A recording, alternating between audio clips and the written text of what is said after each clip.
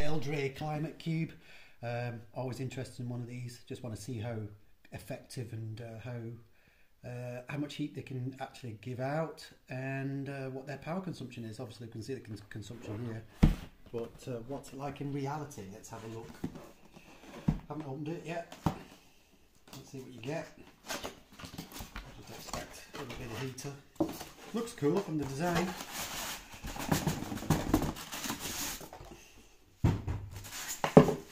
With your polystyrene. Not good for the environment, is it? Uh, can I open this without cutting it? Oh dear. That's it, out of the bag. Looks like a TV from the behind, doesn't it?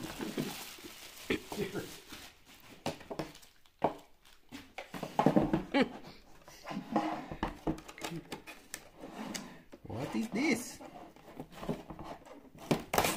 Something to stop movement, I think, from the, the slats.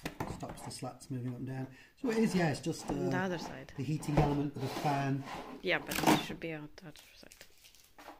Oh, it's this way Yeah, around, I know, isn't yeah. it? With a nice little handle, tape to stop the controls moving around. Here's the plug.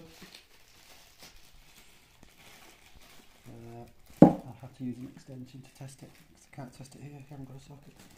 Yeah. Looks nice though. It's a Nice nice, cool design. yeah. No? Nice and small. Yeah, compact. Uh, I like the fact it's got a nice little handle because if it gets warm, Mm-hmm. you got you got you know the safety of the handle, isn't it? Yeah. You can direct the heat. Should we see how good it is in, in use? yeah, why not? I need, I need a, ah, there's one here. Let's see. Forget about those things. So I imagine that's the power. That's the power. oh, what's happening? Uh, stop the video. stop the fucking video. Shit. Ah, uh, I eat. I eat. Maybe I should have checked the uh, instructions. It probably would be a good video. This after all. You freak, no? we don't want that. So it's on two there. That's so that'll probably be the blower. So we need to sort the temperature out. It says it's says 35 degrees there. Which yeah, this is heat. Obviously, cold that way, warm that way. So that's in the middle. So if we want warm, we go that way. And uh, it might take a few minutes for it to. You can see there now. And you know what I'm going to do?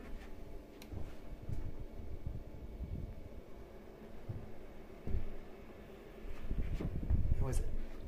That feels pretty good, doesn't it? Mm. If that was near under your desk or near where you're uh, Oh, working. it's quite warm. Let's go and check the power outage, uh, the power uh, consumption. I'm expecting it to be around 500 watts. So here's our watt counter here. So I'll turn it on. Is that really using just 4 watts? No, 400 watts, 850 watts. In the beginning. So it's rated for 500 watts. And it looks like it's settling down to about that. So I can imagine what you'd need to do. It would be good if it was automatic and programmable, but you could probably have it on, say, 20 minutes, depending on the size of the room, and then turn it down a little bit, and I'll bet it'll use less watts. So if you turn it down to the middle, see, hardly uses anything because uh, the actual fan is only consuming 3 watts, but the heater, start turning up, so I've turned it half between them. As soon as we get a bit of heat, is it on a thermostat or something? Should get some warmth there. I wonder what that does. Just a random button. I don't know what that does. But yeah, if I get this to the heat. So you must have to turn it all the way. I thought it would be half, but it's just there. So yeah, so turn it to heat. It's actually pulling 700 at the moment. It's going down. Yeah, it's going down now. So that's uh, yeah, about It's going 500 down. watts. Mhm.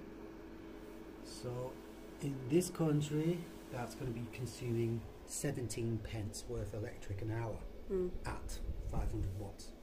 I don't know what it is in other countries per kilowatt. So 17 pence, but obviously you wouldn't have it on all the time. I think that's pretty good. Okay, Thank you. no problem.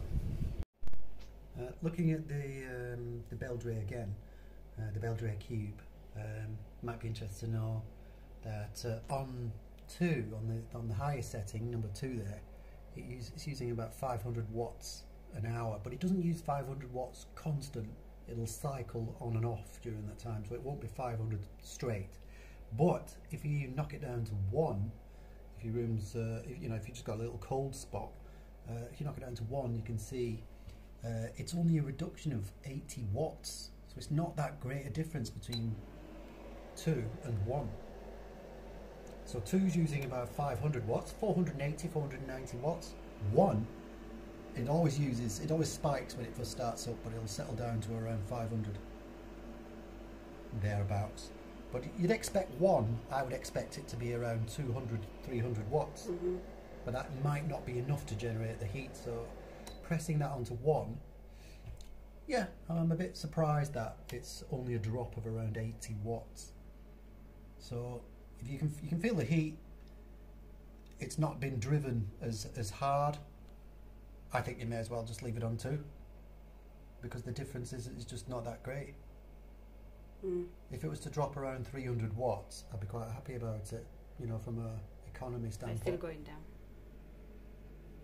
Yeah, but I think it'll look like it's uh, flattening. Let's see, it's stopping there around 419. But it'll cycle. It'll it'll it'll not stay like that for the for the full hour. It, it'll turn off and on.